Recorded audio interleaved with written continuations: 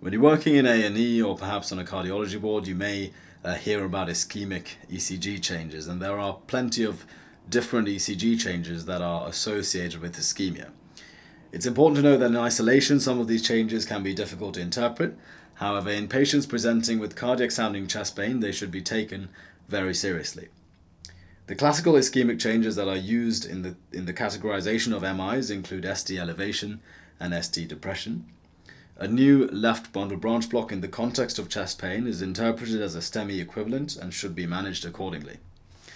The presence of dynamic T-wave inversion in the context of chest pain can be suggestive of myocardial ischemia. The T-wave inversion can also be a normal variant in some healthy individuals. So the meaning of dynamic is that they are either actively evolving during uh, the assessment that you are doing, or if you compare um, their current ECG with previous ECGs, you notice that the T-wave inversions are new.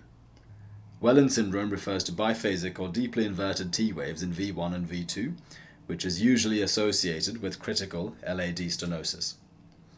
Pathological Q waves are deep Q waves that are suggestive of previous myocardial infarction.